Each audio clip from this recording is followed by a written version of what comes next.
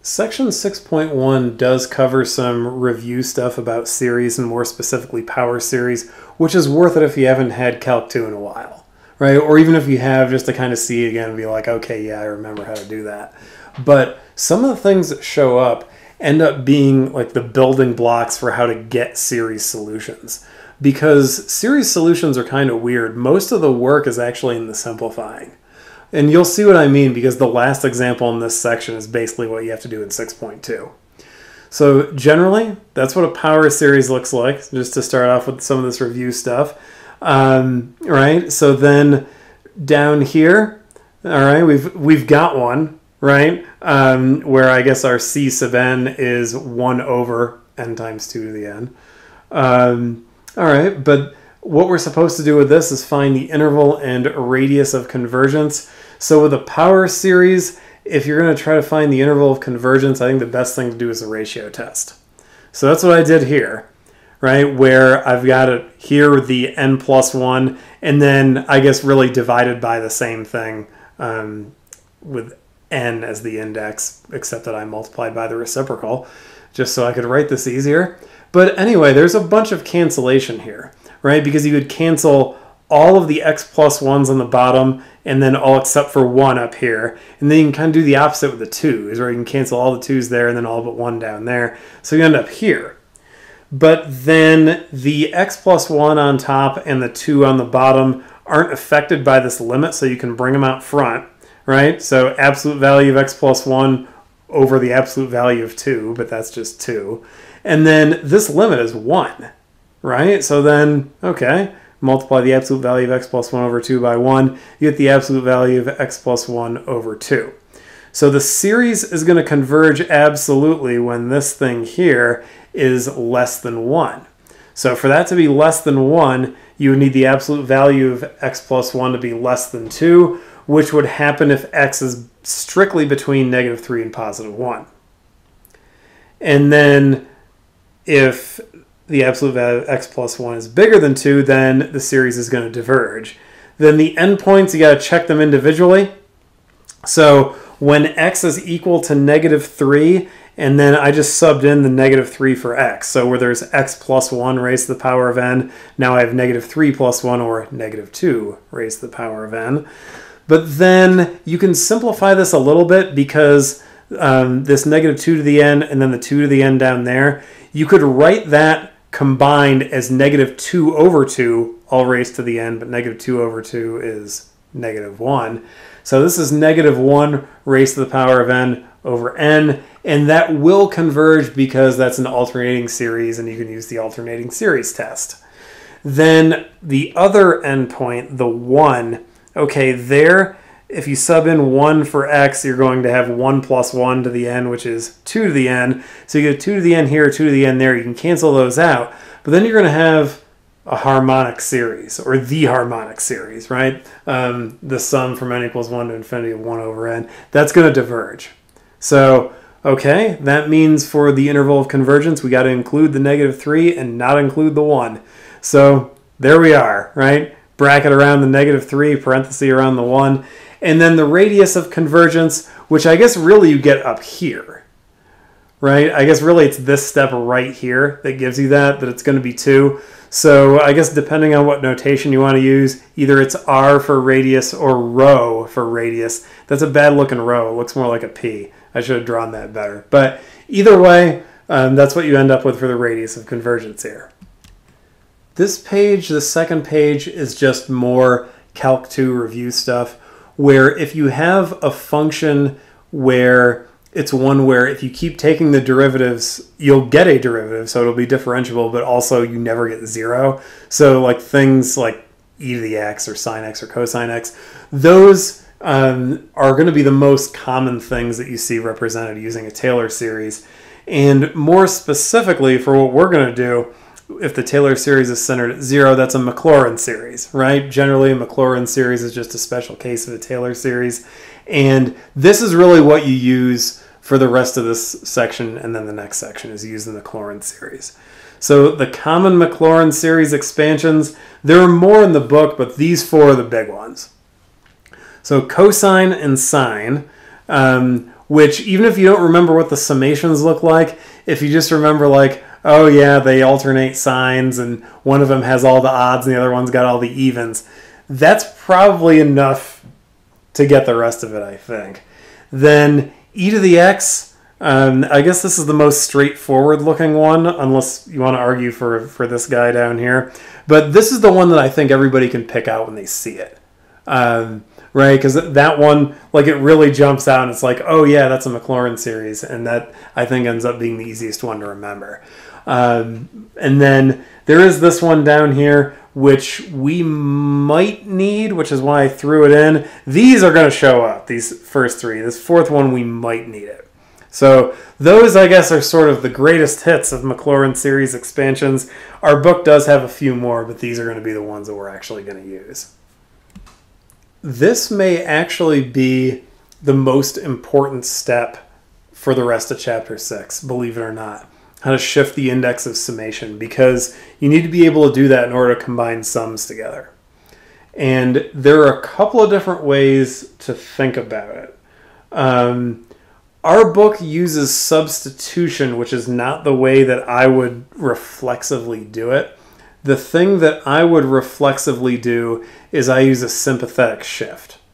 So what I do is if the sum goes down, um, like the starting point of the sum, so like the index on the bottom, then um, the other indices, so like out here, um, the thing you're taking the sum of, those have to increase by the same amount. Um, so I guess I have it with an, an, increase on the bottom of the summation, so the starting point of that index, and then a decrease out here in this example, right? Because here, for what you start with, um, I what I'm thinking here, and this is the thing that you actually have to do a lot, you have to end up with an x to the n, let's say. So I need to decrease this exponent by 4.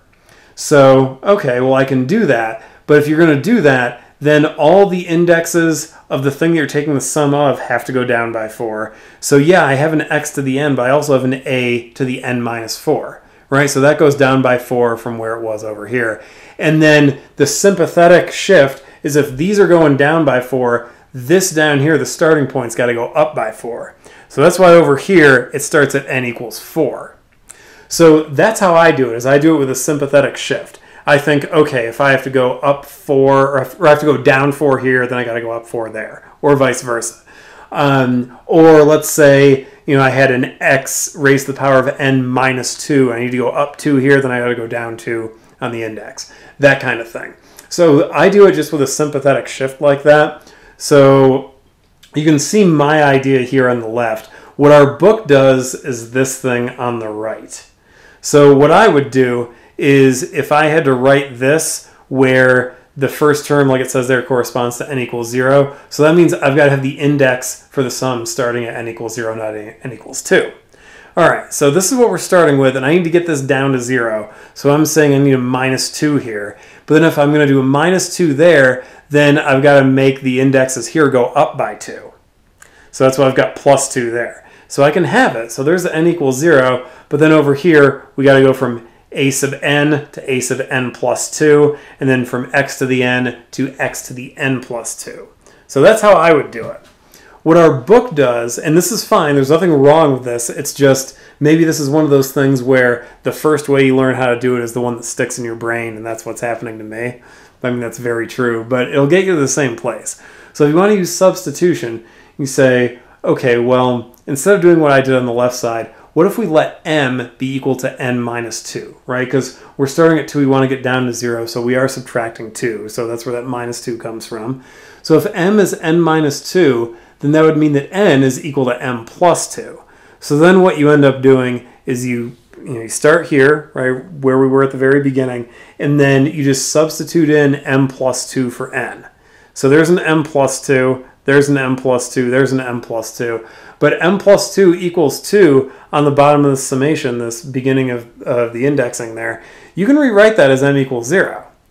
And so then this, what, what I've got here, it's identical to this, just with a different placeholder, right? It's using m for the indexing instead of n, but it's the exact same thing. So either way will work. Whichever one feels like it's easier, I guess do it like that. And then there's one more example here, which I guess naturally I'm going to do it with the sympathetic shift because that's what I'm used to. But this is usually the kind of stuff that you have to do right here. Um, more than like that first example where that first one hinged on getting the um, indexing to match up on the bottom of the sum. You do have to do that, but usually that's not the first step. Usually this is to try to match up the powers of x. So let's say instead of having an x to the n plus 2, we want x to the n. Okay, well then we got to go down 2, right? So that's why it says 2 down here, because we got to get from x um, to the n plus 2 to x to the n. So it's got two go down to. That one also has two go down to, but then the one that's on the bottom of the sum has two go up to. And then if you go over here, bottom of the sum goes up 2. And then now we have n minus 2 right here instead of n, so that's a down 2. And then n instead of n plus 2, that's also down 2. So then this is the thing that you would want here. The next couple of examples, this is a big thing for series solutions, being able to rewrite an expression that involves multiple sums as a single sum. Because there are a couple things that you have to take care of. You got to make sure that the exponents of the terms are matching up so you can combine the two sums together and you also need the indices to match up. So this is the key right here where it's a strategy. This part's important. If you, if you do it in this order, it will be the shortest way you can possibly do it, which sometimes is not all that short, but it would be shorter than the alternative. So do the exponents first, um, like of the exponents of the things that you're taking the sum of, then after that, you match up the starting points of the sums. So watch what happens here, because we got these two sums that we're supposed to add together. The first thing that I'm thinking about, I guess, is that x that's out front in here, I want to put that back in here, right? That's part of the sum, and I would prefer this as just two sums with nothing out front of either sum. Just two sums added together. So all I did was I just put that x back in here, and so that's why in the second sum, I've got x to the n plus 1 now, right? That x to the n is now multiplied by that x inside the summation here. All right, well then, if you go down here, all the stuff that I have underlined in red, that's where all the adjustments happened because what I thought once I got here, once I've just got two sums added together with nothing out in front of either sum, I want the exponents of the x's to match up. Right now they don't. You got an n minus 1 here, you got an n plus 1 over here. You could make them both n minus 1, you could make them both n plus 1. It's probably easier just to make them both n. So for this first sum, I need to go up by 1, right, to get from n minus 1 to n. So that means that for each of these, that n, that n, and that n, I got to go up by 1, and then consequently I got to go down 1 here underneath the sum. All right, so you go down here. There's the going down one. Right now, this is a zero. And then every place where there was an n, I just replaced it with an n plus 1. So there's n plus 1, there's an n plus 1, and then this is n plus 1 minus 1, which is n. Second sum, I need an x to the n. So I got to go down 1 here. Then I also have to go down 1 on this index right here. Then I got to go up 1 underneath the sum. So going down here, up one underneath the sum, and then there's an n minus one, there's a down one, and then n instead of n plus one, there's another down one. Okay, so now where we are is we have the exponents here matching up, but now the sums don't start at the same index, right? This one starts at n equals zero, this one starts at n equals one. We want them to start at the same place. So how do you handle this? Well, the one that starts earlier, you could pull a term off or a couple of terms off if you have to pull a couple off. Here we don't. Here we just have to pull off one. Because what we could do, and you can see it down here, these two things added together, that's this first sum. All I did was I pulled off the first term. Because when n equals 0, you would get 1 times a sub 1 times x to the 0, which is that. So I just pulled that one off, and then I said, okay, for the rest of them, to get all the other terms, you would just start the sum at n equals 1. And the reason I did that is because then we have two sums here that have x to the n in them, and they both start at 1, so you can combine those into a single sum. And then this a, or I guess a sub 1, is just going to be kind of floating out front. So this is really the answer that you end up with here. Because now, since you got x to the n in both and you've got um, n equals 1 as the starting point, then you can combine these together. And then really you just end up with a big coefficient of x to the n, right? Where you have the n plus 1 uh, times a sub n plus 1, and then plus, from the second sum, a sub n minus 1. And that's that, right? And you just have this single term out front. This will happen. There's nothing wrong with having these. Um, essentially, what that would tell you is that if this was a series solution, then one of your independent solutions is just like a constant. So like like one basically.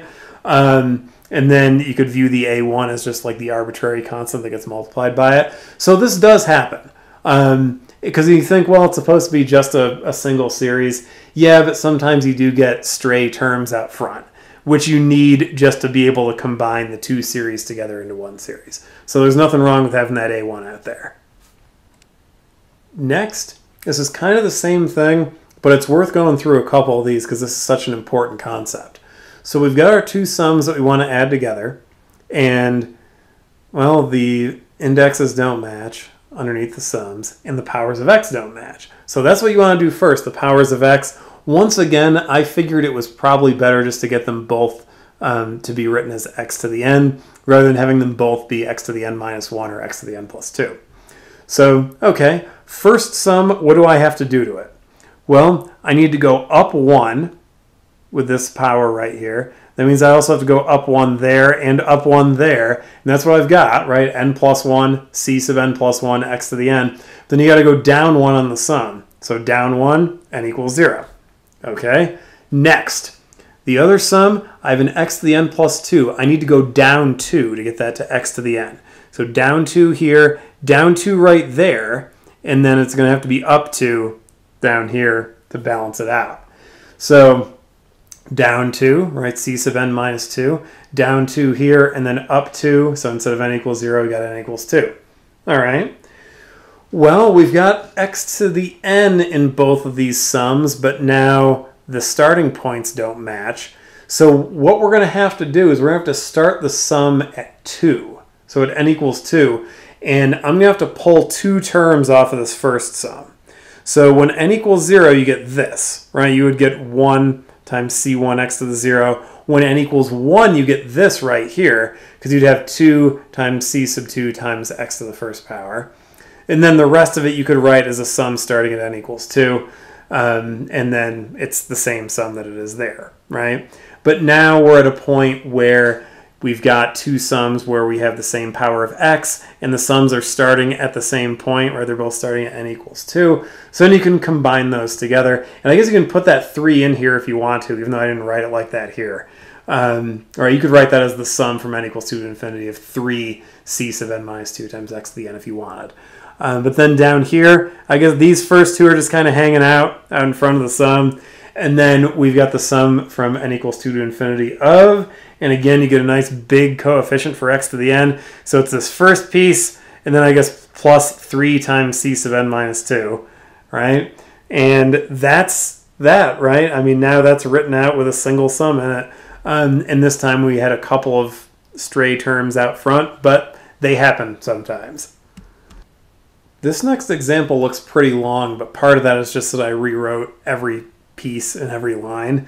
So those red underlines like that and that are just supposed to point out the parts where I did something um, in the next step. So where there's going to be something that changes. But what we're supposed to do here is we're supposed to verify that this power series right here is a solution of this differential equation.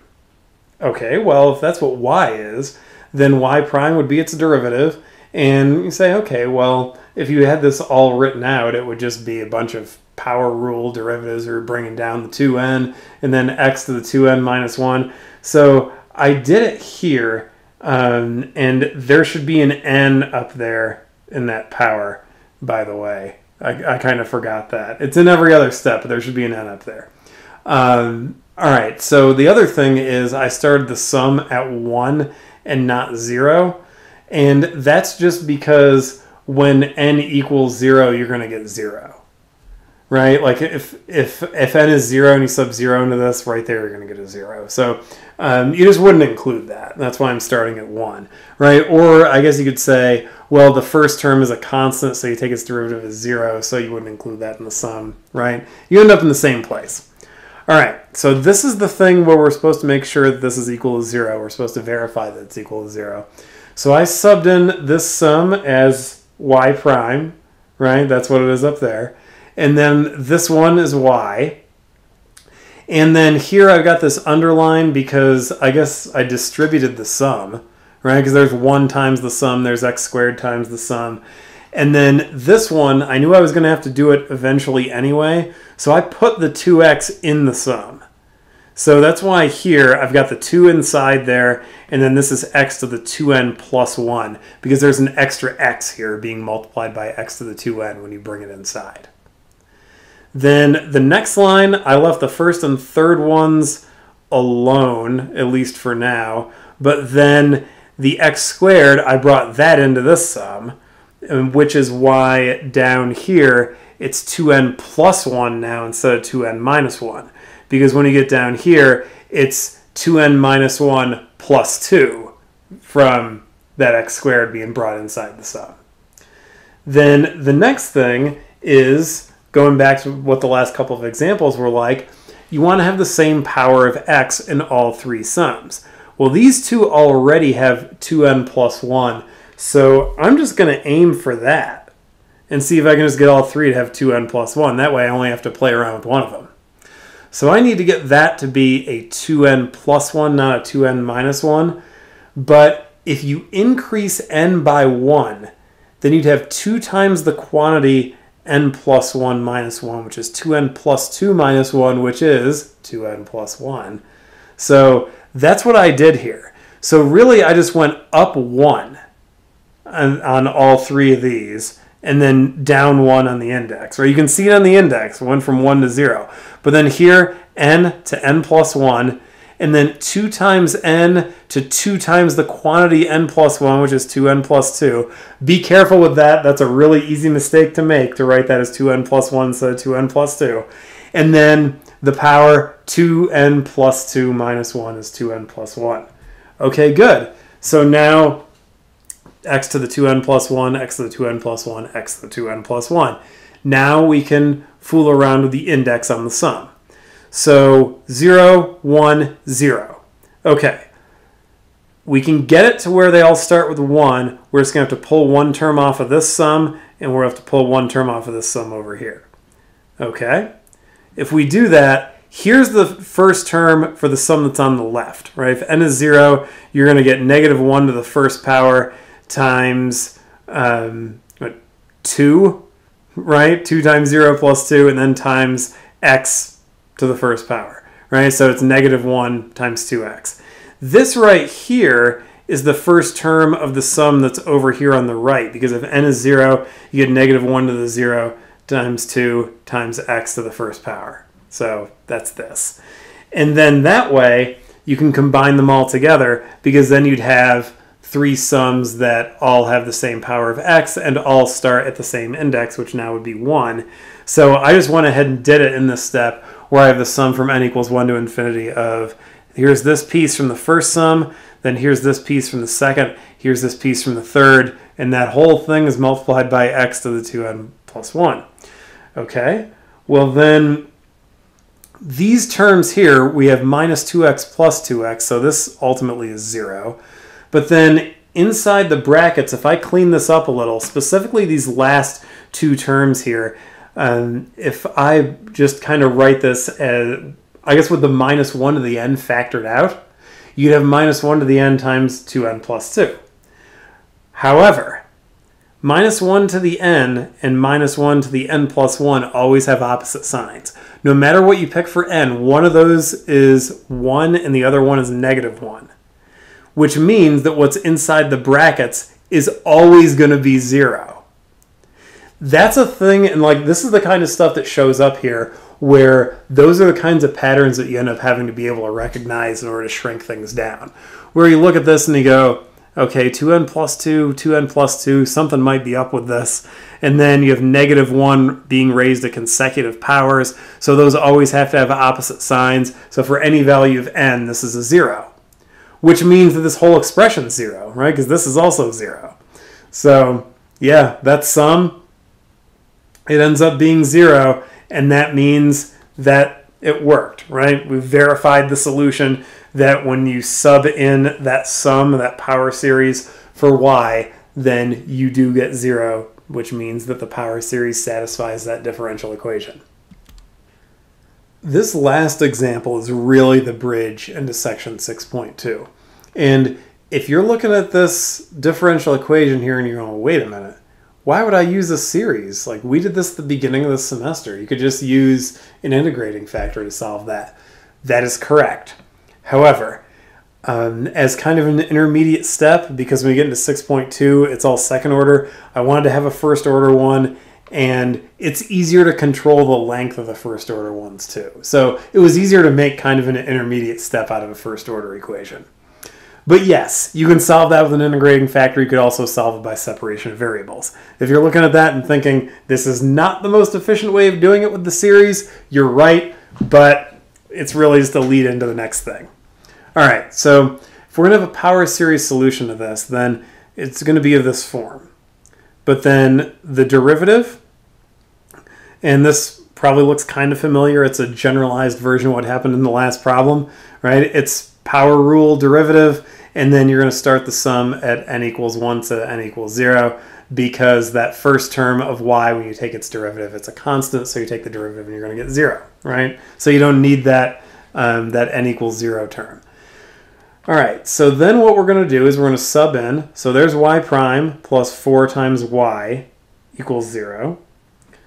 All right. Then first things first, we want to match up the exponents. So I figured x to the n was probably going to be the best move. So this one's already set. This one here, we got to go up 1, which means we're going up 1 on the n here, and we're going up 1 here. So that's what we've got here, c to the n plus 1 times n plus 1 times x to the n. Then we're going to go down 1 on the start of the summation, so n equals 1. Now that's n equals 0. Oh, look, that worked out perfectly, because all we were really aiming for right here was getting the powers of x to match up, but by doing that, we also got the indexing to match up.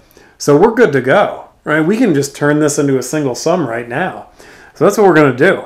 Turn that into a single sum. All right, c sub n plus 1 times n plus 1 plus 4 uh, c sub n, like all that times x to the n equals 0. But for that to be equal to 0, because x can vary, you need the thing inside the brackets to be 0. Okay, that's the next step. Or we could say that c sub n plus 1 equals negative 4 cn over n plus 1. So this is just solve for c sub n plus 1 which I did because then this is actually the tough part coming up next, um, which is to try to discern the pattern that shows up when you start subbing in values of n. So you would start where n equals 0, right? That's where our summation begins. So when n is 0, then c1, right? Because then you would have c with a subscript of 0 plus 1 um, would be equal to negative 4 times c0 over 1, which is just negative 4c0. Okay. Next would be n equals 1. That would be the next term. So then you'd have c2, right, because now the subscript here is 1 plus 1, equal to negative 4c1, right, because here that's just the n, over 1 plus 1, which is 2. But then we know that c1 is negative 4c0, so I'm going to sub that in. We have negative 4 times negative 4c0 in the numerator. You could simplify that down because you go, well, that's 16 over 2, so that's 8c0. And I simplified this one basically just so I could say this right next to it. It's actually in your best interest not to simplify it all the way. If there are things that have like exponents in them, like how we're getting this repeated negative 4, it's probably better just to write that as negative 4 quantity squared because then it's easier to see the patterns. So like it says here, you can simplify if you want to, but it's best to only like halfway simplify, if that makes sense. Like how these are written, this is kind of what you want. um, where you're not really simplifying, but you're sort of combining things together that are similar. So instead of leaving it this way, I said, well, there are three negative fours multiplied together, so that's negative four cubed. So just like doing little things like that to sort of unclutter the expressions, but not really simplifying all the way, right? Because I'm not writing this as negative 32 over 3. Um, but th- this is probably about what you want here. Um, that just takes a little bit of getting used to, where you only like start to simplify but don't finish it to try to see what the patterns are. But then I did the next couple as well. If n equals 2, then it's the same kind of pattern where C3 is negative 4 C2 over 3. But C2 we already know. It's this one. I would use this. Because then if you stick that in there, then you got 3 negative 4s multiplied together. And then times C0 and then 2 times 3, which is 6 on the bottom. And if you see the 2 and then the 6, then you probably want to be thinking factorials, especially because the next one has a 24. So the next one, C4, it would be negative 4 times C3 over 4, but C3 is this right here. So then I sub that in. So now, simplifying this slightly, that's negative 4 to the fourth times C0, and then in the bottom it's 6 times 4, which is 24. And I think now you can probably see it, right? This is a factorial on the bottom, right? That's a 2 factorial, 3 factorial, 4 factorial. And then, um, and notice like it matches the index, right? C4 has a 4 factorial. C4 also has negative 4 raised to the fourth power, right? Like how C3 has the negative 4 raised to the third power with a 3 factorial. C2's got negative 4 squared with a 2 factorial. So I think now you can kind of see what's going on here. And so generally, that's what's happening. Where C sub n is negative 4 raised to the power of n times C0 over n factorial, right? That's what we're getting out of this. Okay, well then the way that we had our initial power series written was that it was the sum from 0 to infinity of c sub n times x to the n. But c sub n is this, so I just subbed it in directly. Or, since c0 at this point is just some arbitrary constant, you can bring it out front, and then it would be multiplied by the sum from n equals 0 to infinity of negative 4 to the n times x to the n over n factorial. And I guess if you want to, you could combine these in the numerator and say that's negative 4x all raised to the nth power. And I do it here because I wanted to point this out. If you did do it the old way, um, you'll get this, basically. Because this summation that's right here, um, so the, the sum part leaving off the arbitrary constant, yeah, you can combine those together um, as negative 4x all raised to the nth power. But this is the Maclaurin series expansion of e to the negative 4x, right? Because the, the, expansion of e to the x, um, you would have the sum of x to the n over n factorial. So now you just have a negative 4x instead of an x, so that's e to the negative 4x. And if you solve that first order equation the way that we were doing it like in January, so you could do it with an integrating factor. It's kind of set up for the integrating factor actually. Or you could do it with separation of variables if you wanted to. Either way, the solution that you'll get is this, which is this, right? Just not written with a series, right? Arbitrary constant times e to the negative 4x. So it does work. Um, and yes, for this particular example, doing it with series takes far longer than using an integrating factor or any of that other earlier stuff. And then I just wrote out a check. Um, so if you want to check your work, this is what it looks like, where what we would have for y, um, so I just expanded out the first few terms of the series. So I have the C0 out front, um, but then that first term, you, you would just end up with a 1 because you're going to have with negative 4 to the 0, x to the 0 over 0 factorial, right? Um, and then if n is 1, you're just going to get this. And then if n is 2, right, because n is 2, you get negative 4 quantity squared times x squared up there. And then that's if n is 3. I simplified those a little bit um, to the extent that I could. And then also y prime, so like you just took the derivative of what's inside the brackets Then derivative of 1 is 0, derivative of negative 4x is negative 4, derivative of 8x squared is 16x, derivative of negative 32 thirds x cubed is negative 32x squared, right? So then I kind of line these up where the exponents matched, because then if you look at these, you go, oh, the ones in y prime are just negative 4 times the ones that are in y. That's the idea.